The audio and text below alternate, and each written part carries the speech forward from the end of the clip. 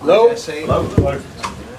I learned in Germany to always be punctual, so here we are. Thank you. Okay, so we'll start with Vinny O'Connor, Sky Sports. Jesse, good to see you. How are you settling in and how much are you looking forward to the job ahead?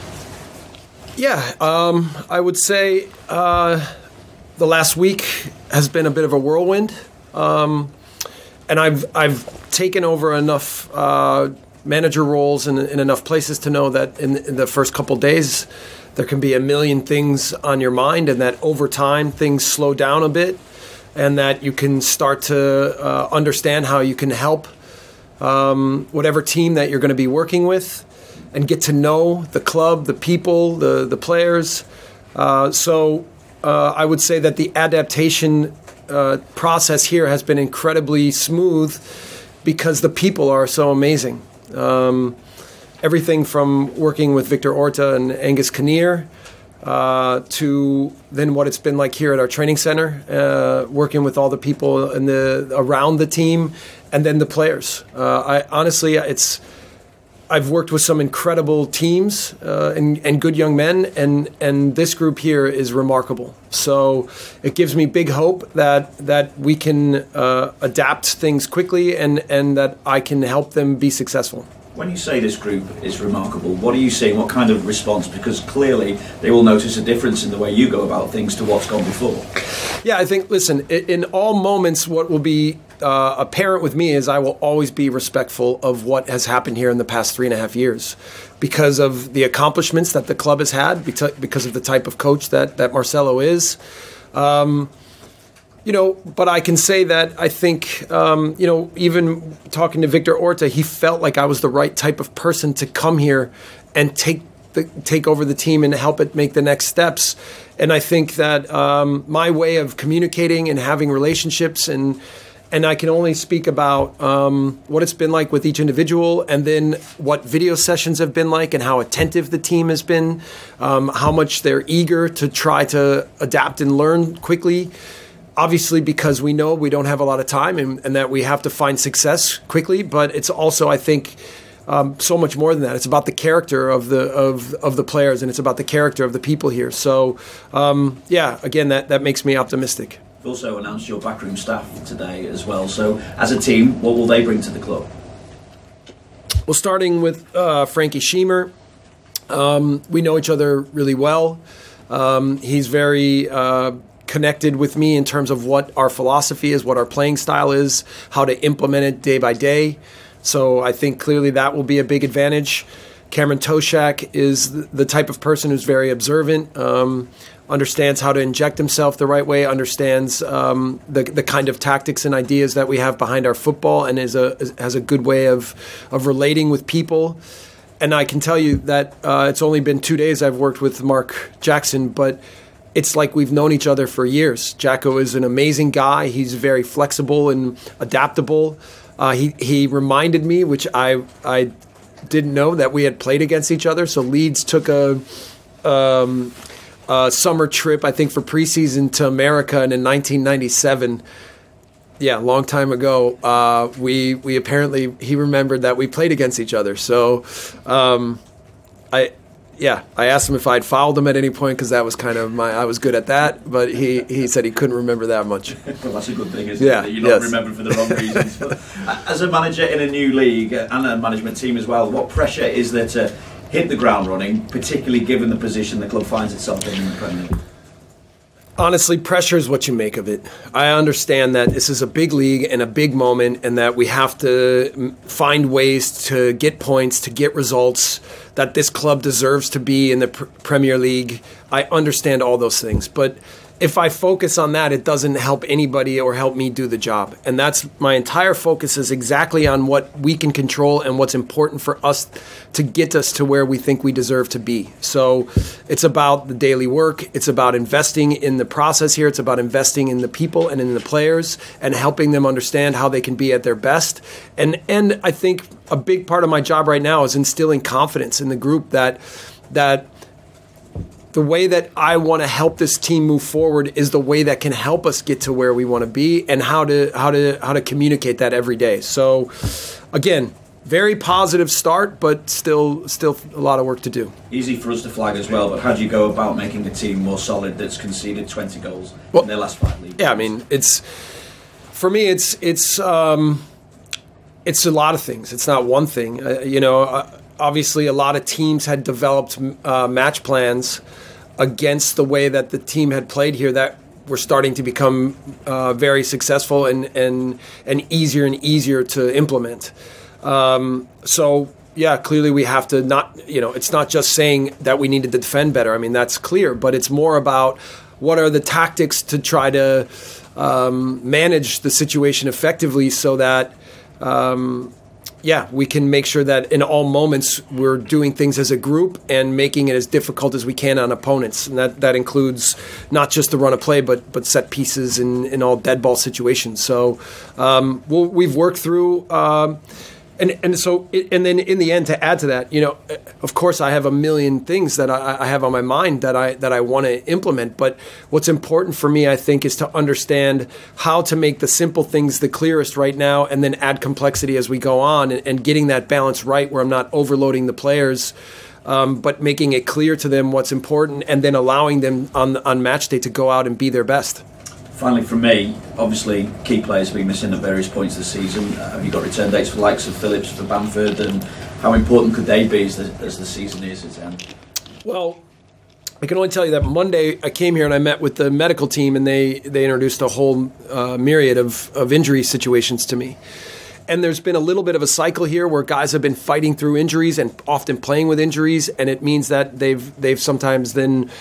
Um, picked up other injuries and put themselves more in danger of missing minutes. And so, um, what I need to do is is is help guys um, recover as quickly as possible, but not endanger them uh, and and not overload them to to put them in, in situations to to to further be in danger. Um, and then yeah, make sure that that we have a, a, a long term vision in place for what that's going to mean. It's it's again, I said this before already. It's twelve games. It's not three games. It's not four games, right? And I know that we need points, but we need to make sure that we're getting stronger as we move along and not weaker. On that note, Patrick Bamford was in training today. Um, Calvin and Liam are both making progress. Uh, they won't be ready for the weekend, but but they're on the pitch. They're working every day. They're they're they're they're getting closer and closer to being in team training. Um, and then we have a, a, bunch of other guys who, who, who have missed a little bit of training this week, and we're trying to evaluate what are the risk and rewards of all of the different players and how many minutes are appropriate for them to, to be able to perform on, on Saturday. Um, good luck. Okay. Hi, Jesse. Hi. From BBC Leeds. Hi, welcome to Leeds. Thanks. Um, firstly, what was now you're here? What was your initial assessment of what needed to be done first, and what is your remit over the next two and a half years? Yeah, I mean, clearly uh, the the adjustment of tactics is number one, um, and so making it clear to to what our playing style is going to be moving forward, and communicating that, and then implementing it on the pitch every day. Even so, when not every player has been available. But like I said, the, the video we've had video sessions every day, and and the the attention span, the the concentration, um, you can see there's excitement about the the opportunity to try some new things. Um, and then the investment in the people, right? I mean, that's if you if you talk about me as a as a manager, that's I think what I care about the most. I, I love tactics and I love football, but but I, I really love working with young men and helping them understand how to continue to improve and be the best version of themselves. So, I've had a lot of individual conversations, have a lot of have had a lot of conversations uh, in front of the group, and yeah, I think they're getting to understand me more and more every day. But this is a two and a half, as I two and a half year project. It's not dependent on you staying in the Premier League. You're the man that they see take to the next level. And what level is that? Well, it, you're right. Um, I, I appreciate that the club was so convinced by me that they were willing to make a long term commitment. When I was considering what my next options were, it wasn't about what was my biggest opportunity from a financial perspective. It wasn't about what was the biggest club I could possibly find to work with. It was about finding people that I felt like cared about the same things that I care about. And and I've felt that um, in the last weeks, months, talking to different people that had been associated with this club, and after being here for three days, which uh, it's it's hard to believe that it's three or three and a half days, I can say that it's in in a very difficult situation. It's been a joy. It's been a joy. Now the project is three months, and then we have to start some processes now, but know that you know the real development process will start taking place a little bit more in summer that we build a foundation for what is important now. And again, focusing on what important now is more about making sure that game to game that we improve, that that we are, are clearer and clearer, and that we can fight uh, in every second and every moment for as many points as we can. Who stood out as a leader for you? There's been a bunch of great young men. Um, you know, speaking with uh, Liam Cooper and Luke Ayling, it's this is easy to see that that they are comfortable in front of the group, that they're uncomfortable in leadership roles.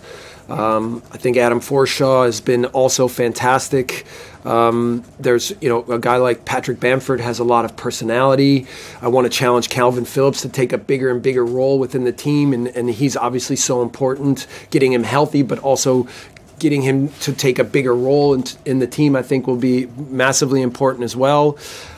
Stuart Dallas for me is one of the hardest workers and and strongest young men who is clear with himself and clear with how to work for the team every day.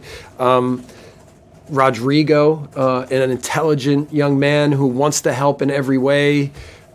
you know, and then there's a lot of positive energy in, in, a lot of the young guys, and and and my a lot of what I've done in my uh, managerial career is about managing young players and helping them achieve their highest potential. So there's a, I have excitement in, in the group and an excitement in being here. How difficult was it having the process accelerated to have you here and to literally walk into the shoes of a living legend? Yeah, I mean, um, I've said I said this. I think in one of the first interviews that I did, uh, I followed. I think le- living legends everywhere have been. Um, I think it, being secure with the fact that the predecessors did a lot of really good things well. Uh, Marcelo, uh, you know, I think changed the mentality of the club and, and the team, um, helped create a winning, successful mentality here. Understanding the things that he did well and how to stay true to some of those things. But then in the end, also know that I don't have to be Marcelo Bielsa. It's more important for me to be me and, and me to provide what this team needs in order to continue to get better and to grow. So, um, I've said already that I, I, followed Marcelo's career. I've watched him closely. I've respected so many things that he's done. I've learned things from that he's done. But but clearly, I am I, I am different. I am my own person, and, and I have my own ways. And and they're again, the, it's important that they understand me and that they know what those things are, and that that they appreciate them. But in in the end, what's most important is that the team can appreciate each other and know how to go on the field and, and do everything they can. So on Saturday, what will we see in Jesse? What will Jesse like? Well, I, I think you know the the thing that I, I loved about this this team in the past is their fight, their their ability to run for each other, to do whatever it takes on the day, no matter what the result was. This will have to remain a big part of our DNA. Uh, but certainly, then um, you know, I think modifying our tactics, having a clear understanding of, of what we're trying to achieve, what our strategies are, uh, the clarity to work as a group and not just in individuals in certain situations, and transforming the, that that tactical understanding and group mentality into, into, something that will benefit us now and in the future. Those are the things that I think um, are important. But I think my ethos fit well with this club and this community here in Leeds, right? I, I, mean, even where I'm from, Milwaukee, Wisconsin, it reminds me a little bit of what Leeds is. I come from a hardworking family. My father worked in a factory for 32 years. I only know working hard and, and, and giving everything I have. That's all I know. So uh, I will do that here. I promise that, and and we will make sure that when we step on the field, that that's what we show. Last one for me.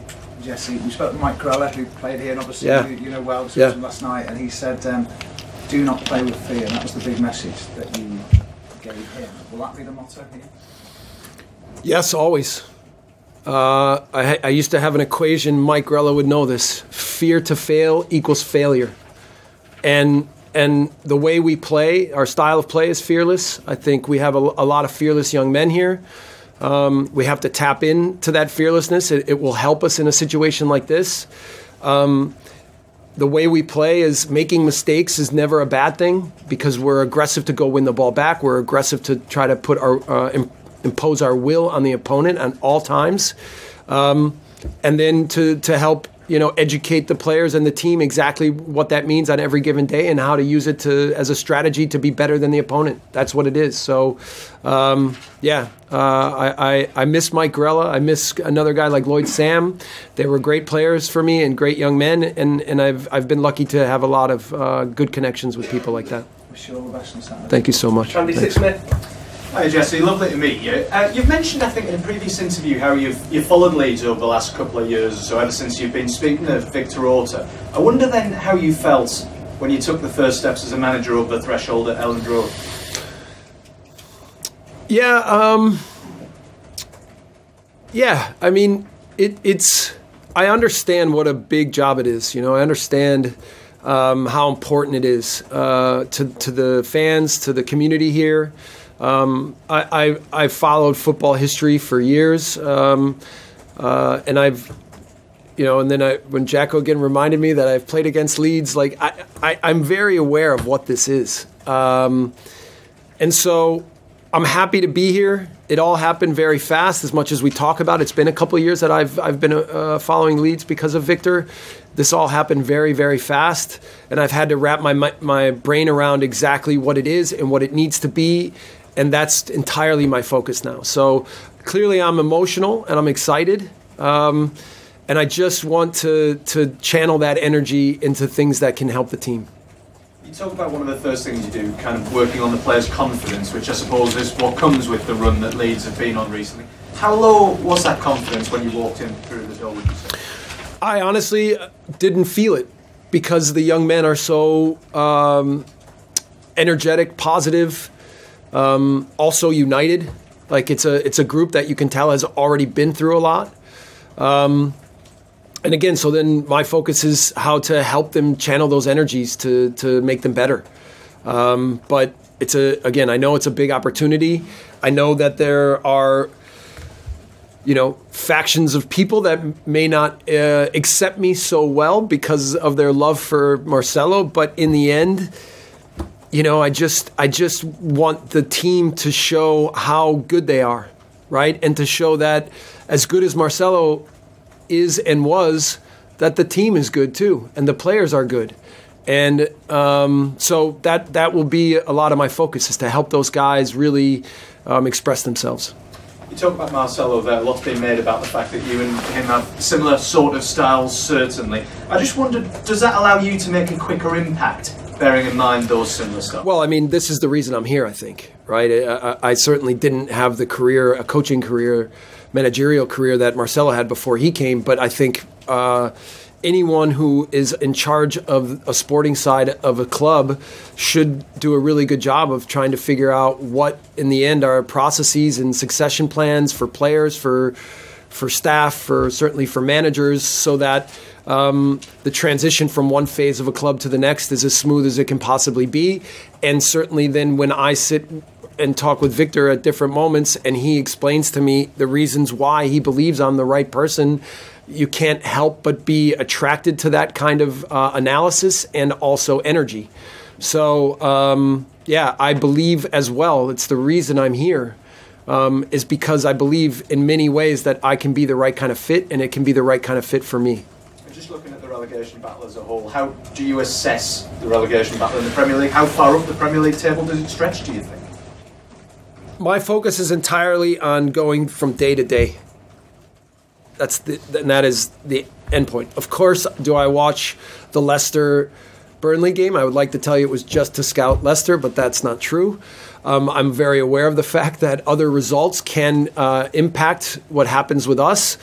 But the most important thing for us is that we focus on the things that we can control and, and that we do the job ourselves. So, um, yeah, that's that's entirely my focus. And just finally from me, just on Leicester this weekend, how tough a first test is this for you from what you've seen of them against Burnley, from what you've seen of them this season?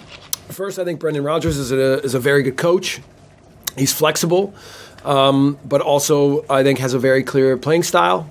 Um, they have a also a very good team uh, with Vardy back. I think that brings a boost to them. Uh, you know, let's see if he starts or not. I, I would expect that, given his performance on, on Tuesday, that he would be he'd be a big option uh, from the start. Um, yeah, they're they're a team that plays well both with the ball and against the ball.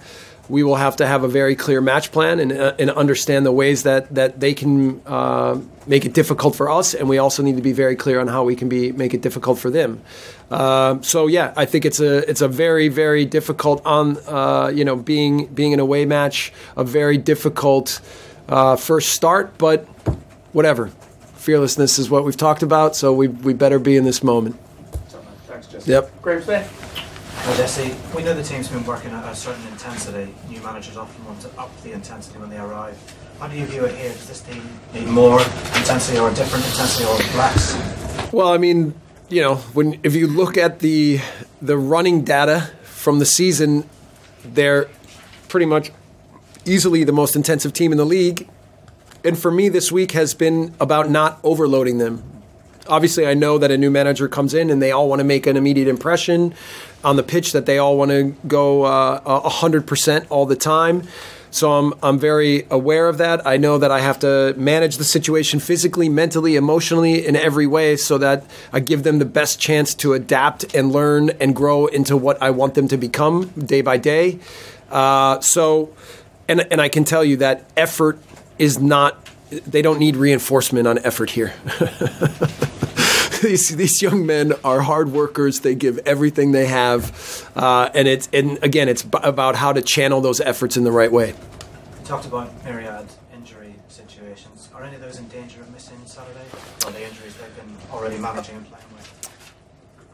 It's a little bit difficult to say. Um, you know, like uh, so we've t- we'll evaluate Patrick and how, what that means. Can he be on the bench? Does he need a little, a few more days? But he's close. I can tell you that he's close. Um, uh, Diego Llorente was not in training today, and he's questionable for the weekend. Obviously, with Liam and Calvin, we've already spoken. Um, and then a few, you know, there's a few others that we are just kind of going step by step and, and making sure that that we're not that we can prepare them as much as possible, but that we're not pushing too hard. Yeah. Beren. Hi Jesse, welcome to Leeds. Um, the under 23s and the way Marcelo approached that transition between those two groups and had them together was a big part of his legacy here. How do you see that transition between the, the younger group and the older group, and how do you mesh them together? Yeah, listen, I, I- this is the fun for me, right? Is when you're when you're a manager of a of a club, it's not just about managing the first team for me. It's about being a leader for the entire sporting side. Um, in the moment, when I talk about prioritizing what we need to do, that connection and everything is probably a little bit more on the back burner, but in a long term process, it will be very clear that that we have a good connection and that we have a good way of instructing the type of football that we need to have at the at the first team level, um, and then what what that's like to try to um, uh, develop that on a daily basis at all the different age groups and, and all the different levels.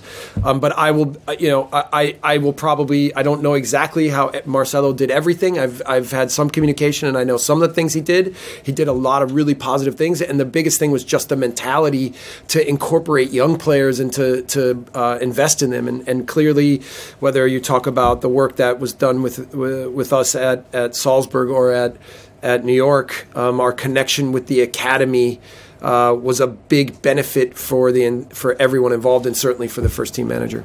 There's a lot of helpful stuff online with your tactical outlook, your formations you've used at previous clubs, and the way you like to approach games. What are your early thoughts when you looked at this squad as a whole and the players you have at your disposal, particularly the wealth of wide options you've got? Yeah. Um, so I think that first of all, we have a lot of positional flexibility. In the long term, I think that will help us adapt in games um, and adjust. Um, in the me in the short term, I want to try to give them clarity on principles and tactics, and then clarity on strategies within the match of what we're trying to achieve. Um, so let's see. I mean, we I, I've been working with one formation this week with them. I'm not going to say what that is. Uh, however, I'm trying to step by step. Uh, I also had you know Leicester in mind in the last uh, week, and, and and trying to think about how to put a process in place to help the players uh, adapt and and what it would mean for this game, and then we'll have to go step by step through every game, and and and again, uh, try to think about how to make complicated things as simple as possible so that the players can execute. Thank you. Stuart Rayner. Hi Jesse. Um, you, you've talked about following living legends before and that sort of thing. I, I just wondered how important was the continuity of having Mark Jackson on the coaching staff? Yeah, I think he's been uh, vital. And and it's not just about his experience; it's about the type of person he is. I, I mean, honestly, I've been really uh, lucky, feel lucky that Jacko is um, so willing and and so committed. I mean, I think we were here last night until 9 p.m. or something, talking about tactics and adjustments and what they've done and done well, and what we think needs to change and how we go forward. And uh, he's been fantastic. So certainly that connection. I can also tell you, uh, Rob Smith has, has also been incredibly helpful, and and now. Um, uh, looking at how to, to deal with all of the, the physical situations and manage the players that has been fantastic. Uh, uh, everyone, everyone, and that's what you see is that the club is is so much more than than just one person. It's really a, a there's a lot of positive energy here, and people want to help as much as they possibly. Sorry, I said Rob Smith. I meant Rob Price. Uh, that they've tried to help as much as they possibly can. And, and often when a new manager comes in, they'll see under 23 players that maybe haven't been used before who sort of leap out at them. Is there anyone in particular who's caught your eye from the younger group? Again, I'm just getting started, right? I mean, if you if you count Joffe as a as the younger group, then yeah, he's been good. Uh, I think Crysencio's been good in the group. I think Charlie Cresswell comes every day and and and works really hard. You know, but again, I, I'm I know those player. I know Joffe a little bit from watching um, some of the U23s and then some of the first team matches. But but you know, I need to get to know these young players more and more so I can understand what their qualities are and then how to help them continue to grow. Sure. Thank you. Yep. Bill Hay. Hi Jesse. Um, your last job was with a big club in a, a major European league. I, I wonder what that taught you with hindsight, and whether it taught you to do anything differently this time round.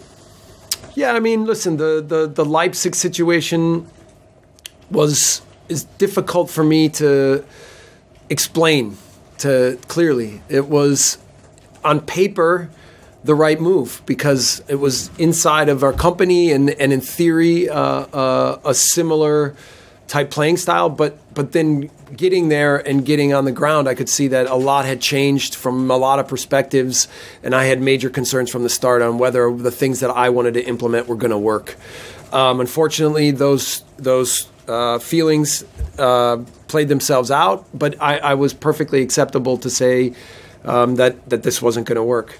I should also say, you know, we had a corona where everyone was hurt. I was in quarantine, and before that time, we were in fifth place. We had just beaten Dortmund. Like it seemed like things were moving in a positive direction, and it fell apart what I learned from that, and this is why why I applied to why I want to be here in Leeds, is that what's most important is the connection of people and and the similar mindsets on on what we want to be, how we want to communicate, how we want to work every day, how we want to play. That that connection among people inside of a club and with the community is what's most important. And again, this is what led me to here. Given that you can't do everything this week because you've only got you know, a few days before Leicester, what specifically have you looked at tactically for this team? What specifically trying to change? Well, certainly getting away from uh, the the man marking, um, trying to also with the ball create uh, tactics that don't expose us for transition moments as much. Uh, so though you know the the clarity of the tactical model, um, without going, you know, uh, uh, so deep into every little detail. It's it's introducing important topics that I think uh, the players are, are and, and, I can say it's an intelligent group that they are uh, that they can uh, um, understand and and put to practice. That has been. Uh, in the end, that has been what the focus has been this week, and then you know, continuing to to, to for them to understand my personality and, and how we're going to continue to move forward as a group. Um, yeah, that that's these are these are the short-term ta- challenges. But I, I told them yesterday after training that I the, some of the things that we did in training, I had worked with teams for six months, and they didn't perform the the topics as well on the pitch as what what this group had done in in two days. So that's a very positive sign. Very positive sign. Thank you. Yep. Brendan? You talked about managing them mentally, physically, but also emotionally. How much of this week has been spent managing them emotionally because there was such a close bond with Bielsa? Well, I think that um, we've seen incredible uh, positive responses in terms of the energy of the group, the positivity, uh, the excitement they have. Um, you know, of course, this was a very difficult decision for everyone to make. Um, there was big emotions on Monday when Marcelo and his team said goodbye. I, I, I was very aware of that the first time I spoke to them. I didn't want to go on Monday into a million things. I tried to just make a quick introduction of myself and who I am. And then I've tried to just be positive myself, bring energy every day, and, uh, and allow them to have some freedom to express themselves within the group and, and, and within their relationship with me. Um, you know, uh, even the energy on the pitch today is is a very positive sign. But again, it's got to add up so that when they when they go on the pitch on, on Saturday, that, that they're as committed, if not more, that they're that they're running for each other, that they're doing everything they can to fight for the result in the ways that they have, and and the, the combination of of enjoying the process, but yet the discipline and concentration to execute on game day and go after the game in every way is what will be what will help us get to where we believe we deserve to be. And what would you have as a message to the fans who also obviously had that connection, but they love their club. They want you to. Yeah, yeah. I mean, in the end, I, I, I've heard a lot. I, I've seen. I've. I've seen a lot of people. You know, I'm not out in the community that much, but even at the, I'm here at the hotel, and the people I've seen at the hotel, they've all come up to me and say, "Listen, man, we want you to succeed. We want you to do well." Obviously, it was hard to say goodbye to Marcelo, but we love this club. We, you know, we're so happy to be in, be in the Premier League. You know, we're, we're behind you. Do everything you can. So. Um, my, my message is I- I'm here for all the right reasons. I'm not here for myself. I'm here for this club. I'm here to to to work within a, a club atmosphere to to maximize the potential of everything we do every day. And I'm here to enjoy the process with the fans as well. Yeah, thanks. From the last doors. David? Uh, Jesse, uh, do you feel there's a stigma around American coaches in English football? You joked this week about people might not, not like your accent, and Bob Bradley had a hard time when he was there. How do you sort of battle against it? Yeah, I think there's probably a stigma. I'm not sure Ted Lasso helped.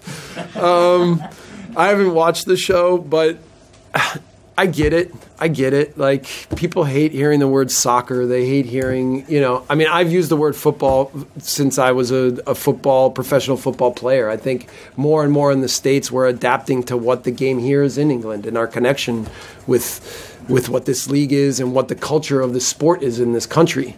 Um, you know, uh, I can understand that they don't think that we have the experiences that can be created here in Europe. Frankly, they're right.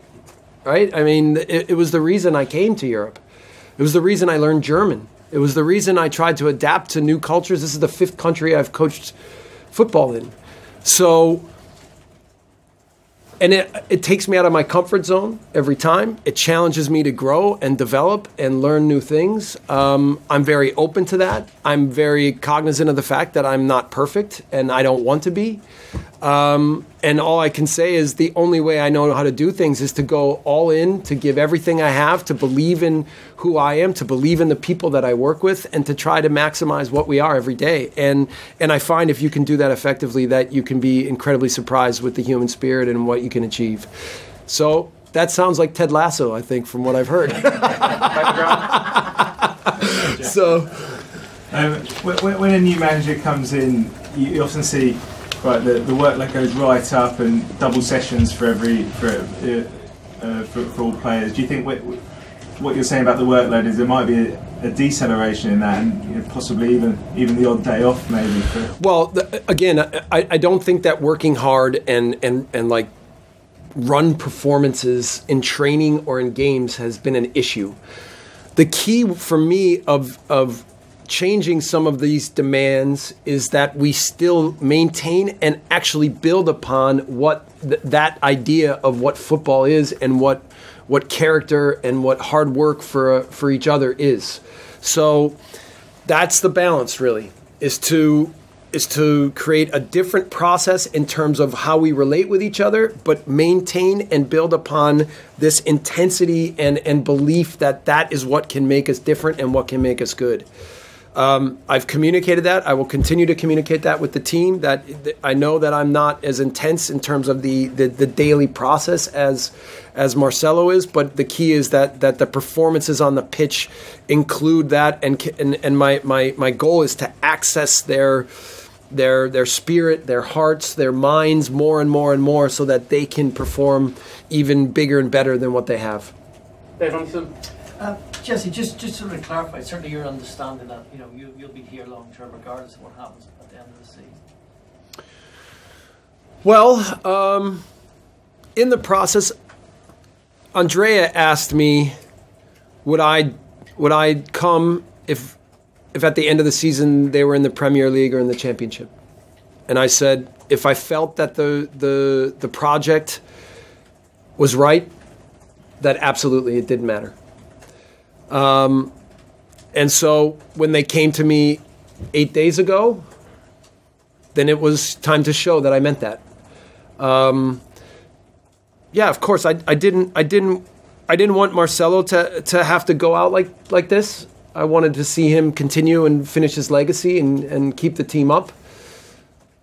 I wanted to make that argument with Victor when he called me, right? But I could see that that it, the group was suffering, right? And so then I had to wrap my mind around doing it now, and um, my focus entirely is not on the championship; is on is on finding ways that that we will be in the Premier League. But but in the end, so, sorry, James. So, in the end, I'm I'm committed to, to, to being here no matter no matter what the situation because I believe in it so much. Jesse, um, have you spoken to the owner and Victor about retaining your, your best players this summer, regardless of what division, you're in? If you look at Kalvin and Rafinha, just how important is it that you do keep them? Yeah, I mean, listen. Whenever you work for a club, you know that there's things that you can suggest and and and try to work through, but you also know that there are situations that you have to accept. Every manager would tell you, and I and I say this in in general, good players make good managers, not the other way around. okay, so every manager would tell you that he would want as good a players as you can give him. But you also have to understand that for the health of the group and the health of every individual situation, that um, you have to respect, you know, possibilities of, of what is all out there. Um, I I always in those. I'm I'm a type of manager that I try to control what I think is in the in the boundaries of, of what this role is, and and I try to work very diligently and carefully with the people around me, but I trust the people that are in their roles to do their jobs effectively. And I certainly know that with uh, someone like Victor Orta, that his expertise, his uh, communication style, his ability to to help build a roster uh, and a and a squad and and and a club in a really good way is is is really impressive. So I have to, you know, I, we will have a really close strong relationship as time goes on, but but I certainly trust his way. There's no there's no question about that. Hi Jesse. Um, you mentioned your father there. What did your father do, and what did you learn from him, and also what did you learn from Ralph Rangnick as well? Yeah, my father is his my father's balance between hard work and enjoying his life as as good as anyone I've ever known, and I think that that's what I've learned the most from him is. Um, he was very clear to me when I was young what hard work was. very clear. He he worked in a tractor factory called Case Case Tractors um, for 32 years, and he worked on the assembly line. Um, but he was also a, an incredible hard worker. He was innovative. He did things like build houses, and he he he accomplished. My parents got very uh, got married very very young because of me. Okay, so. Um, uh, my mother probably would not want that information out there, but that's, that's a little too late. Um, but you know, I mean, so this they they fought for everything their whole lives to to try to achieve and succeed, and they have. Um, and so, yeah, I mean, that's. I think my my work life balance has always been pretty good. Like I know how to work really hard, but I also know how to enjoy the people around me, and uh, and so you know we will do that here. I can you know the past three days have been fantastic, um, and then Ralph Rangnick, yeah, I mean he he he really introduced complex football tactics and ideas to me in a way that I think really um, ignited my my passion for for for being a top top manager. So um, very thankful for that relationship. Um, I'm also thankful that we're not playing them in the down the stretch. But yeah, I mean, he, he sent me a little note. I was you know thankful and yeah, um, yeah. A little good look, sorry, a little good luck note from him to you. Yeah, yeah, just a congratulations and, and good luck and yeah. Yep. Okay. Three more. We'll go Louise, Ross, Hi. Mark, Hi. Gwendolyn. With, with your zonal marking, will this apply at set pieces as well as more generally?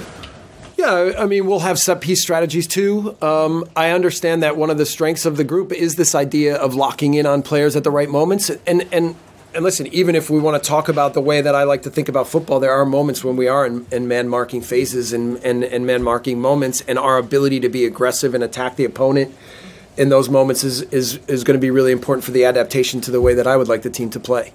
Um, yeah, uh, and then we'll see what I'm. Not, I'm not, again. I'm not going to give away too much for what, what our set piece uh, program will be. And it's just getting a different balance because I mean, like last week, Stuart Dallas seemed to sort of switch on to Ryan Sessegnon to sort of man, man marking when they changed slightly. But in a way, in a way, he seemed to be doing too many jobs at once, and it kind of didn't work. Is, is that something that Well, I, you know, I've played against teams that are man marking uh, tact with man marking tactics, and and what we've always tried to do is create counter movements and play behind, right? And this is what this is now what you've seen. The strategy has been again, uh, for playing against Leeds in the last weeks.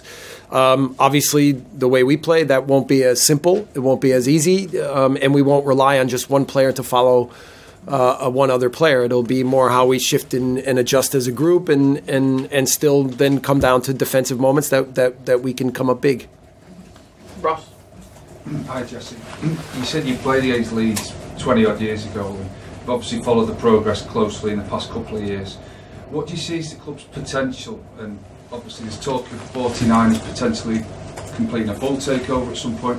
What's your sort of take on Leeds United as a whole and the club's, you know, potential? Well, um, yeah, I, I think knowing football history and what Leeds has been in the past, I know that, and knowing this is a, a one team city and that the supporters are so big, not just here in Leeds, but internationally, um, I think that this club has incredible potential to continue to inch itself forward as a bigger and bigger uh, uh, club here in, in England. Now, you know, we're in a big moment right now where we have to find a way to, to fight for everything to stay in the top league, and then we can hopefully continue the process again as we as we continue to move forward. Um, I, I, I want to make it clear that with the 49ers, they I, I met them. They're incredibly intelligent people. Um, they're very um, clear in terms of what has made them successful in terms of strategies and how to manage organizations and and I think there's a lot to be learned from them. But I also want to make it clear that that's not the main reason I'm here, and and and to say that there's an American uh, Americanization of this club would be inaccurate. I think everyone from Andrea to Angus to to Victor are very clear that the, the they have a distinct vision for what this club is and will become, and that the 49ers or me or the talk about American players or whatever that that this is sort of a side note in the in the process. Um, but I, I will say I, I think the balance overall from the conversations that have been had in the ownership group and in the leadership group within this club um, are very intelligent, uh, very careful, and I think will will make the club stronger and stronger as time time goes on. That's all, Mark. Hi, good afternoon, Jesse. Hi. When you say that you were you wanted Marcelo to stay, you'd have liked to see him stay to the end of the season. Am I right in saying that you were ready to, to try and convince Victor that that would perhaps be the, the, the best possible option? Yeah, I, I, again, I said that. I, I, I think I was ready to to say that, and and, and at the time, I, you know, if you go back even two weeks, I wasn't sure. I wasn't hundred percent sure that I was definitely the next coach of Leeds United, next manager. Um, I'd hoped that based on our conversations and, and our, our our positive exchanges, that that was going to be a high possibility, but I wasn't sure. Um, but yeah, again, uh, you know. I know what it's like. Uh, you know, I just left a team halfway through the season, and it's never a good feeling. You know, and you, and you don't you don't want. I've learned in this business that you know jealousy is a terrible thing. Trying to judge people for failures and successes is never good. Finding the right fit and, and being in a good situation where, where you vibe with everything around you is often what determines success for a manager, right? And so again, I wanted I, I wanted Marcelo to finish on a high note and, and the club to finish on a high note with Marcelo and the fans. And then, you know, if that was going to be a possibility for me to be the next the next person to take over, then then obviously I was going to be very open to what that idea would mean. Okay, thank you very much, everybody. Thank you. Thank you. All the best.